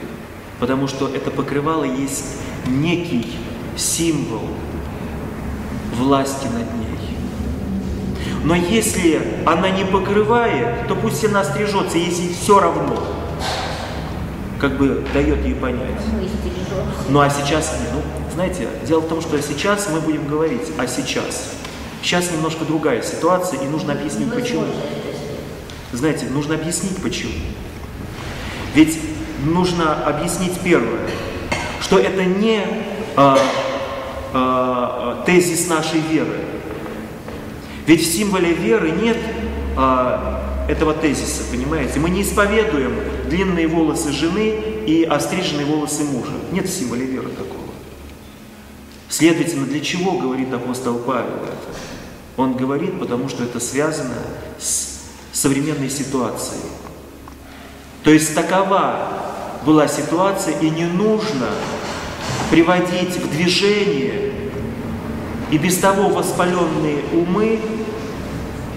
Получается, что христианская церковь, она начинает разрушать какие-то социальные устои, которые уже сложились. А ведь помните слова апостола Павла, что если ты в э, рабском положении настигнут был благовестием Христовым, то так и оставайся. То есть не имеет значения, раб ты или свободный, или ты, кто бы ты ни был. Просто оставайся христианином. И помните, когда к Иоанну Крестителю подходили воины, и они тоже задавали вопрос, а что нам делать? Он говорит, не требуйте больше, чем то, что вам дали. Я, э, он имел в виду э, э, жалование, как солдату, воину. Батюшка, Да-да. простите, я хотела вот вернуться туда, где вот муж глава семьи, а женщина, значит, ему подчиняется. Да. Можно ли вы не закончили? Батюшка, вот как понимать вот в нашем современном вот, обществе в нашем современном мире, что вот муж, если глава семьи, он был добытчиком, он был содержателем семьи. Ведь нигде же не написано у нас ни в предании, ни в Евангелии, что женщина работала в поле, там занималась трудом. Она была, она была дома. Мгм. Дома воспитать, и воспитательница там детей было. Мгм. А муж был добытчиком, он содержал семью. Да. Так у нас было тогда, когда у нас была религия. Да. А когда мы уничтожили у нас когда мы уничтожили институт семьи, то что же у нас получилось? Женщину заставили работать, даже если у нее было много детей. Муж не стал тоже добытчиком, содержателем семьи. То как теперь вот, вот это. Не, ну вы знаете, а давайте мы сейчас все-таки попытаемся закончить ситуацию именно с, тради- э, с традицией. А, То есть я имею в виду, а, почему именно в библейской традиции апостол Павел является продолжателем библейской традиции. И нужно отметить, что и в языческом обществе тоже муж глава жены. Потому что а, все произошли от Адама и Евы. И у всех все равно оставалось какое-то представление и знание правильное, что есть хорошо, что есть плохо. И, и соответственно, об каких-то а, таких вот общественных институтах, в частности, с- э, семья. То есть это единственное таинство, которое было установлено из семи таинств. У нас семь таинств церкви, да? Вот. Единственное таинство, которое было э, э, таинство брака, венчания, оно с Ветхого Завета, оно не в Новом Завете было установлено. То есть как бы оно из ветхого, из той истории стало частью новозаветной церкви. И причем мы а, как бы не разрушаем это таинство. А, и вот я что хочу сказать, не отвергая, вернее сказать, это таинство. Я хочу отметить, что а, изначально так было, что жена была создана для мужа, как помощница. Затем она еще и согрешила, и в результате она вследствие греха стала быть еще покорна мужу, потому что она виновна была. И помните, Господь как наказание дает, и что ты будешь э, иметь влечение к мужу своему, и будешь покорным и так далее. Так вот, а, ну и, конечно же, не говоря о том, что му- мужч- мужчина, он все-таки сильнее женщины. И в языческом мире, возможно, это утверждалось еще через силу мужскую. И, конечно же, ему приходилось именно иметь сношение с внешним миром. Потому что он был добытчиком, как вы сказали. Ему постоянно нужно было, а, сем- а- а жена должна была быть дома, она должна была заниматься воспитанием детей, хранить этот а, очаг, чтобы он не погас, этот очаг семьи. И если женщина начинает снимать с себя символы покорности своему мужу, то чем это заканчивается, мы знаем. Вначале женщина уравнялась, стала э, стричься. Вот помните советские времена, как только вот, вот эта волна свободы, первой революционной свободы захлестнула э, умы и сердца людей, помните, это стриженные девушки э, в, в красных косыночках, э, там за трактором или еще где-то там, вот они э, вот понимаете, ведь самое, ведь понимаете, с чего начинается вот эта революция всегда? Начинается с того, что человеку начинает внушать, что у тебя есть права, но ты об этих правах не подозревал. И кто-то у тебя эти права отнял. Это, знаете, как с женским священством сейчас. Начинает женщина внушать, а вы смотрите, вот эти мужчины, они узурпировали власть в церкви, и они имеют только, э, э, они только священствуют. И получают ничего себе, то есть даже та женщина, которая э, вообще церковь не, э, не, э, не посещает, она задумается, ничего себе, эти действительно священники, что же так, где справедливость? Я тоже хочу быть священницей. А потом декрет Понимаете, а потом действительно, Дочь- дочь вот батюшка, нет, не, потом, получается, матушка ушла в декрет от престола, понимаете, или что-то еще, вот я не знаю.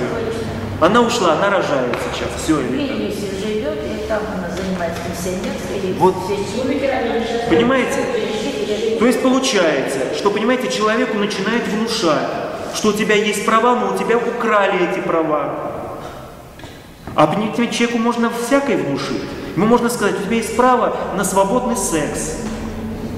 А у тебя опять-таки украли эти мракобесы, там священники, я не знаю, там вот эти традиционные консерваторы и так далее. И что человек? Он даже раньше не думал, что это ему нужно. А тут, ну если права украли мои, так нужно бороться за права. Не, ну ведь с этого всегда начинается. Вот посмотрите, ведь даже оранжевая революция, понимаете, в чем она заключалась? О том, що ми будемо вместе з вами, дорогі любі друзі, будемо управляти країною. Вот я буду здесь в троне сидеть, а вы будете рядом со мной. Конечно, ну как же, мы же действительно, никто же раньше не допускал до трона, а сейчас будем вместе. И что? Понимаете, в чем, понимаете, вся брехня, вся ложь? Именно в том, чтобы человека раздраконить, понимаете, этими правами. И вот то же самое, понимаете, вот какой-то, понимаете, женщине пришло в голову, вот разницы же нет между мужским и женским полом. Апостол Павел сказал, во Христе все ровненькие и равненькие. И вот тут началось, понимаете, тут это, то, что я прочитал, это, понимаете, очень мало я сказал. А вот то, что будет дальше, вот там начнется серьезная истерика относительно там голосов и так далее. Но я чувствую, что я уже как бы не подойду к этому сегодня. То есть началась очень серьезная, понимаете, а, именно а, а, реформация того, чего апостол Павел не говорил. Я вспоминаю вот этот такой анекдот, но очень интересный анекдот. Я думаю, что он отражает реальность. Вот апостол Павел пришел на какое-то вот собрание. Вот тут палатка православных, тут палатка католиков, а здесь вот палатка протестантов. Ну вот он зашел вначале к православным, все, потом вышел апостол Павел оттуда. Потом к католикам тоже вышел. Тут к протестантам он зашел, и он выбегает с этой палатки, за ним бежит протестант с Библией и говорит, апостол Павел сказал вот это. Понимаете? То есть, так что апостол Павел даже не знал, чего он, понимаете, там говорил. Вот понимаете в чем? То есть начали апостолу Павлу приписывать то, чего он не говорил. Да, он сказал, но его неправильно поняли. Для своего времени сказал. Он нет, понимаете, дело не во времени. Вы ж, я говорю, есть, э, так сказать, мужского пола и женского во Христе. Но не нужно это понимать, что, понимаете, уже нет ни главы, понимаете, ни, так сказать, ни жены, все, понимаете, полная эмансипация. Нет, не об этом шла речь. Шла речь о том, что все равнодостойны перед Богом. Рабы или владыки, мужчины или женщины, иудеи или язычники, все по ценности своей жизни человеческой равны перед Богом. Вот об этом говорилось. Равнодостойны, но не в функциональном отношении, потому что у каждого свое положение. Апостол же Павел будет говорить, ну все ли апостолы церкви? Все ли пророки? Все ли учители? Понимаете, не все. Значит, кто-то, понимаете, говорит, кто-то слушает. Точно так же есть глава семьи, а есть не глава семьи. Но это опять-таки не говорит о том, что этот недостойнее того. А в последующих именно главах этой же, этого же послания будет очень четко сказано. Так вот мы дальше продолжаем. Что, впрочем, не муж без жены, не жена без мужа для ангелов. Впрочем, не, муж, не жена без мужа в Господе. То есть о чем говорится? О том, что несмотря на то, что глава и, и не глава, но все они в Господе. Просто нужно принять такое положение вещей. Жена должна быть покорна мужу. То есть не только в этом послании он говорит об этом. Рассудите сами. Прилично ли жене а, молиться Богу с непокрытой головой? Но вы знаете, мне кажется, что все-таки коринфские христианки этого не услышали. Знаете почему? А потому что в Греции, а Коринф это Греция, там они без покрывал на голове. Вот если заходишь в храм, заходишь в храм, и если кто-то в косынке стоишь, стоит из женщин, можно с уверенностью подойти и спросить, а вы когда приехали с России? Вот, понимаете? То есть совершенно уверенно. Так что, понимаете, не дошло слово апостола Павла. Ну, ничего, я думаю, что... А, простите, да. а? Что-что? А? Нет, идет речь только о, о, о богослужении. Только о богослужении. Даже не идет речь о частной молитве. А некоторые спят, косынкой говорят, так надо. Вы знаете, а, вы знаете, дело в том, что, понимаете, вот причудов как бы очень много есть. Но, понимаете, нужно понимать, для чего опять-таки вот это была косынка. Ведь, понимаете, если сейчас женщина, э, к примеру, э, без э, головного убора, там, без платка и, не знаю, шляпки какой-нибудь в храме стоит, вот в греческой церкви, это уже заведено. Я другую вот деталь скажу. Если тогда это было, понимаете, движение за феминизацию, эмансипацию, то именно вот это хотел как раз апостол Павел остановить. Но сейчас уже такое сложилось э, положение, что это уже, понимаете, это уже все есть. И уже сейчас с этим воевать не нужно. Уже наоборот, если, понимаете, человек приходит с платком, ну а что это такое? Что это вот, понимаете, такое за чудо? То есть это уже не вызывает каких-то вот э, именно таких вот именно феминистических движений. Или, скажем, те же брюки. Вот а, некоторые могут сказать, вот нельзя женщине одеваться в мужскую одежду, да? А вот скажите мне, брюки это одежда кого? Мужчин или женщин? Мужчин. А почему вы так уверены? А я скажу, нет.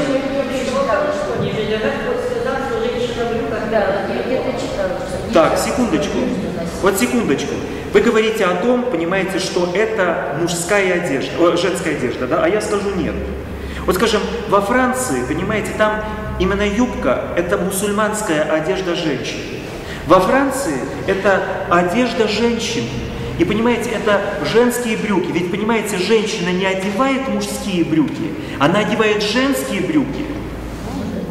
Вы понимаете? Ведь здесь очень важно понять, что она не одевается в одежду мужскую. Или взять варваров, которые где-то там по лесам, понимаете, или взять чукч. Ну что ж они, понимаете, в юбках будут там, понимаете, морозить все и отмораживать. Ну как вы себе представляете? А шотландцы?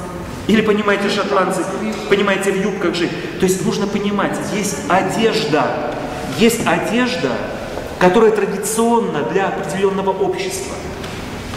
Мы ведь не исповедуем это как символ веры. Верую, понимаете, в мужскую и женскую одежду там и что-то такое. Ну нет такого у нас. Есть у нас просто нормы приличия, и мы стараемся эти нормы приличия всегда выдерживать. Ну, конечно, если приходит, понимаете, не- непонятно вообще, или это а, вообще одежда на человеке, или это, понимаете, да, действительно а, какая-то вуаль, которая, понимаете, вот э, э, наоборот, э, что-то, понимаете, пытается, а, наоборот, отразить и передать. Понимаете, поэтому если человек нормально одет, скромно одет, в те же брюки, я имею в виду женщину, нужно принять, и не надо ей никакие замечания делать. Это уже для нас устоявшийся, у нас фасон женской есть женских брюк. И поэтому, наоборот, мы вызываем только какой-то протест со стороны человека, со стороны человека. Если, понимаете, он всю жизнь ходит в этих брюках, это женщина, понимаете, или девушка, И не может зайти в храм. она не может зайти. У нее, вот я говорю, а почему вот вы без, а, так сказать, юбки? А она мне отвечает, потому что у меня ее просто нет, говорит батюшка. И не за что купить сейчас.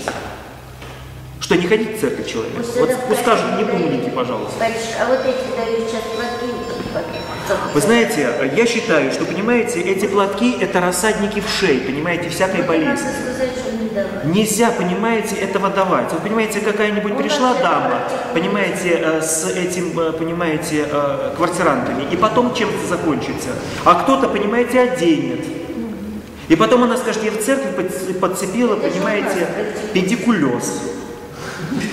Вот, и что тогда? А везде, в каждом, храме. Да это ненормально, понимаете, это ненормально. Мы должны прежде всего понимать, что Бог взирает на сердца людей. Он не смотрит на лица. И мы знаем вот это, понимаете, движение, фарисейское движение, когда они готовы были вцепиться в горло каждому, кто, понимаете, имел немножко э, кисти, э, значит, э, э, меньше, чем э, как бы должно быть. Или, к примеру, те же, ну ладно, не буду, не буду, ладно, потому что я слишком много сейчас могу наговорить. Вот. Так, э, э, бесчестие. Так, но если жена растит волосы, для нее, это, э, для нее это честь, так как волосы даны ей вместо покрывала. А если бы кто захотел спорить, то мы не имеем такого обычая, не церкви Божией. А я пропустил же. Э, не сама ли природа учит нас, что если муж растит волосы, то это бесчестие для него? Но вот я попадаю в первую очередь, понимаете, под слова апостола Павла. Потому что я отпустил волосы. И не только я. Ну. А вот понимаете, а, прежде всего проповедники истины Христовой, вот так вот сложилось, что в православной церкви они с длинными волосами. А вот католические а, ксензы, они, понимаете, аккуратно стрижены. Ну, Да. Так что я думаю, что самым православным священником оказывается наш католический ксенз, понимаете? Что он, понимаете, все хорошо у него там выстрижено и так далее. И вот- И у нас стригутся. Так вот, что нужно понять? Что существуют традиции. И вот эта традиция длинных волос, она появилась тоже в определенное время. Когда имел право, или вернее сказать, не столько право, а скорее было достоинством только для аристократии византийской носить волосы. А опять-таки византийская аристократия, это в основном она была из греков. Но среди греков античных э, нужно было стричься, и для иудеев тоже они постригались. то есть э, мужчины с, кратким, э, с короткими волосами были. И вот что же получается. Именно аристократия византийская носила длинные волосы. И вот когда э, османы, турки напали на Византийскую империю и э, ликвидировали византийскую аристократию, в частности Василевса, императора, царя, то эти привилегии перешли к патриарху и епископам. Потому что патриарх стал этнархом. А этнарх – это глава народа в переводе буквально с греческого языка. То есть он не был государственным главой, как император, но он был главой народа. И именно султан совершал свое сношение на самом высоком уровне с греческим народом через патриарха. Ему перешла эта привилегия длинных волос. И не только вследствие вот таких вот, скажем, катастроф, э, ему еще раньше перешла привилегия. Это сакус, это э, архиерейская одежда, которая сейчас принята у всех архиереев. Сакос – это облачение, да, как стихари, помните, как стихарь у Пономаря, только, ну, как бы оно украшено, благообразнее, понятное дело. Вот. Но это именно одежда была императора. А изначально епископы носили филонь, как священнослужители, обычные священники. Вот то, что я ношу, только поверх филони епископы носили амафор. Вот на иконах святитель Николай, как правило, изображается не в сакосе, а именно с филонью филоне и амафор поверх. И вот постепенно вот эти, а, поскольку сношения императоров с, э, э, с патриархом, с епископатом было очень таким активным, то какие-то привилегии императора передавали патриархам, заслуженным патриархам. И вот они как бы уже укоренялись и передавались как э, наследство. Вот, к примеру, Э, у нас есть такой патриарх, который имеет особенность, в отличие от всех патриархов, это папа и патриарх Александрийский, всей Африки. Он папа называется. То есть у нас есть тоже папа. Папа Александрийский. Он патриарх э, именно э, греческий патриарх в Александрии, в Египте, то есть всей Африке. И у него есть право ношения второй епитрахили. Вот у священника одна епитрахиль, и у епископа, и патриарха одна. А у него две епитрахили, потому что в свое время так случилось исторически, что он получил вторую епитрахиль, и он до сих пор облачает вторую епитрахиль поверх сакоса. Вот какие-то такие вот сложились обстоятельства. Одна вниз, другая Нет, одна да, одна под сакосом, а другая сверху сакоса. Это можно увидеть на фотографиях именно патриарха Александрийского. Нет, не сразу две. То есть э, именно между ними сакос. И он носит, э, в отличие от, скажем, Митра, а, остальных епископов, носит тиару. Вот, такая как корона, корона царя. Вот. Это опять-таки а, а, Александрийский патриарх. И носит грузинский э, э, католикос, наш православный патриарх, он тоже носит тиару. Почему католикос? Католикос да. вселенский в переводе. То есть окормляющий, окормляющий э, именно э, всех грузин. Вот, все, все, э, тоже католикос, да. Ну, как папа, скажем, есть Александрийский папа, наш православный, и есть римский папа. То есть это как бы, или мы скажем, э, если э, раньше сказал бы кто-нибудь, скажем, в, во времена Марка Эфесского, сказал бы на католиков католики, то, конечно, Марк Ефесский, он бы сказал, вы что? Какие они католики? Католики мы, а они латиняне. То есть мы католики, ведь как, как наша церковь называется? Кафолическая. Просто произношение разное. Западное произношение католическое, а восточное произношение кафолическое. То есть мы католики, православные, мы католики. А мы католики. А почему? Греко-кафолическая церковь, мы пишем в древних изданиях, и до революции еще пишется кафолическая церковь. Поэтому нужно понимать, что, понимаете, само слово, оно, понимаете, является всегда функциональным, служебным. Просто нужно правильно понимать это слово, где оно используется. Понимаете, к месту оно должно быть используемо. С точки зрения именно какой-то богословской мысли, именно кафолическая церковь, Оно действительно очень адекватное слово. Оно в переводе повсеместное. То есть, знаете, вот полетел, скажем, э, э, скажем, э, космонавт православный на Луну, и если он там на Луне, то это тоже уже территория православной церкви. Повсеместная, потому что и там православный, понимаете, христианин. И он туда, на Луну, понес православие. Конечно, оно там никому не нужно. Почему? Потому что там некому миссионерствовать и проповедовать. Но именно по распространению, по масштабам, там, где православный христианин, там и православная церковь. И вот, если мы говорим именно о традиции э, длинных волос у священников и у монашествующих, то э, э, затем стали принимать епископы от патриарха э, длинные волосы, потом священники, потом монашествующие и так далее. И получилось, что именно образом православного священнослужителя, монаха как раз длинноволосый. И, конечно же, мы это связываем с назарейством Христа, потому что Христос был Назареем, а Назареи отращивали волосы. Но почему-то апостол Павел не связывает мужчин, причем он говорит, а, что всякий муж, четвертый стих, всякий муж, он должен а, а, стричь волосы.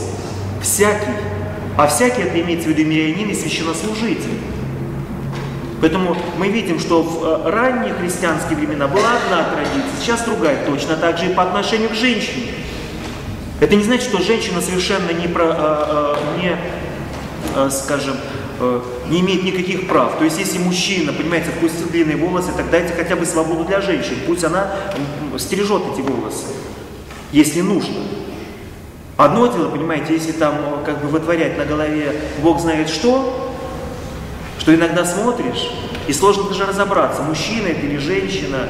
Это как, знаете, я вспоминаю один такой комедийный случай, когда а, а, Владыка благословил мне а, встречать а, этих паломников с Парижа.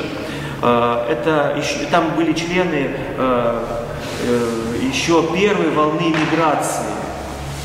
И вот один такой муж зрелый летами, с седой бородой.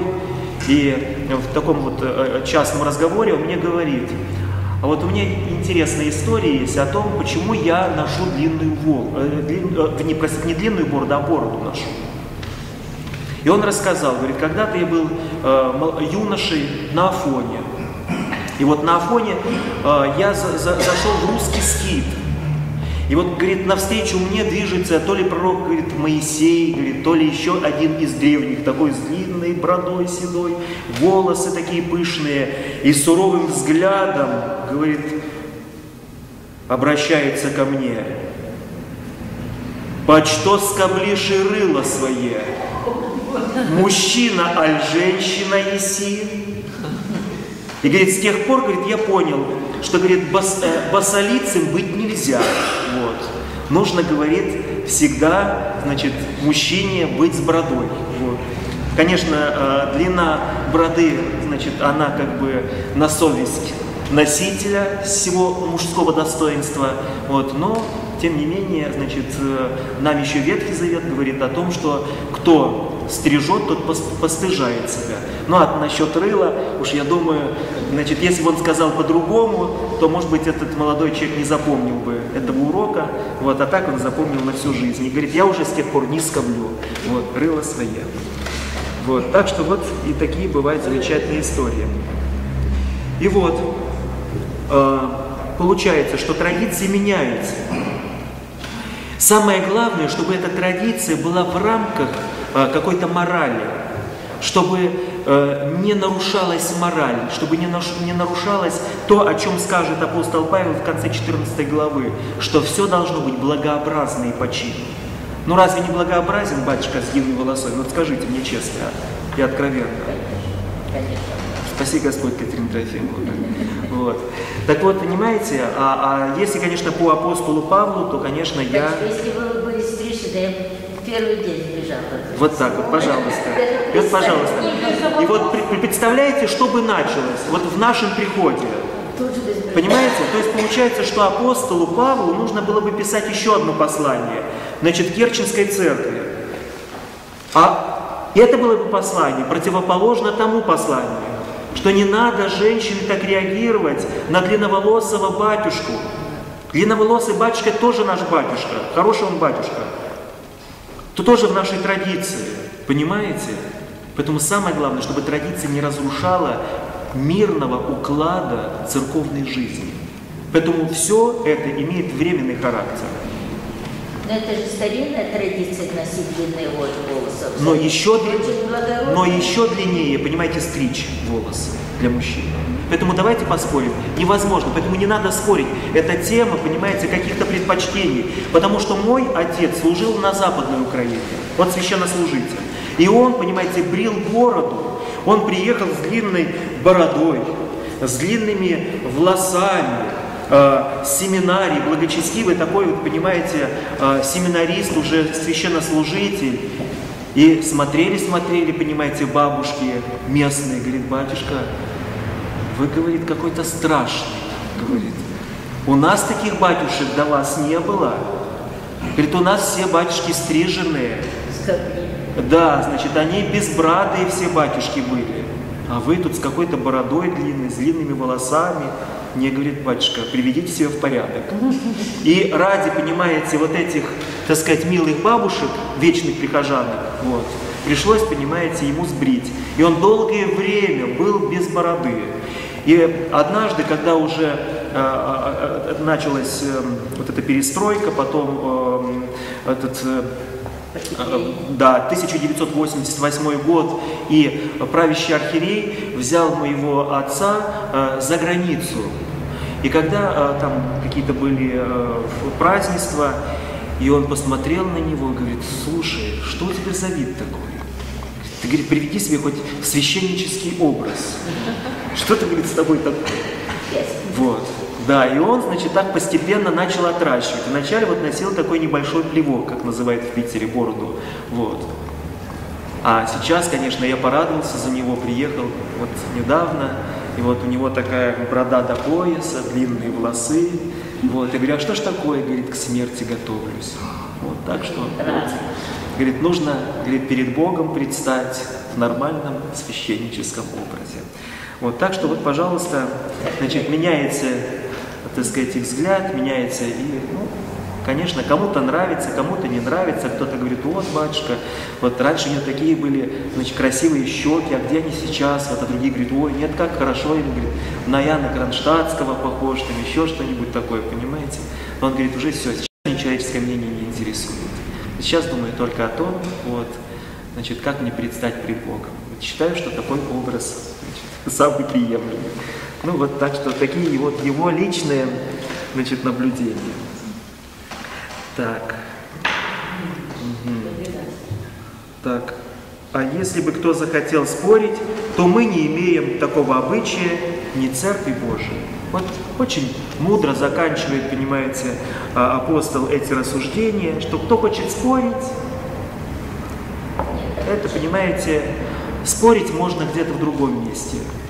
А здесь нужно принять уже обычай, который сложился. Вот. Потому что без обычая, без традиции мы, понимаете, не будем э, нормальным приходом в церковь. Что-что-что? Традиция. Традиции У уничтожаются. нас даже в городе, обратите внимание, почти уже больше половины простились. А вот священников. Да. Ну, вы Те, знаете, которые носили ну, вы знаете, да, я, конечно, тоже, опять-таки, не буду Это полемизировать не на эту тему. У меня есть свои предпочтения, они у вас на лицо, что называется, поэтому я как бы пока считаю, что так долж- должно быть. Ну, а те, кто, у них тоже есть основания, скажем, у них есть позволение, вот, поэтому не будем осуждать этих священнослужителей, потому что апост... они по апостолу Павлу. Вот. Так, ну что, время у нас подошло к концу, и я думаю, что э, на следующем занятии мы уже все-таки закончим.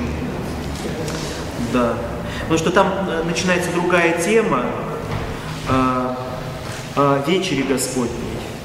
А, о том, как не могли в толк взять коринфские христиане, что же такое а, вечеря Господня, то есть литургия, а что такое агапы, вечери любви. И вот вначале они приходили, много кушали, вот, потом песни, возможно, пели, не совсем церковные, а потом решали, что вроде как время подошло причащаться. Вот. И поэтому они после песен, значит, после обильного вкушения трапезы совершали литургию.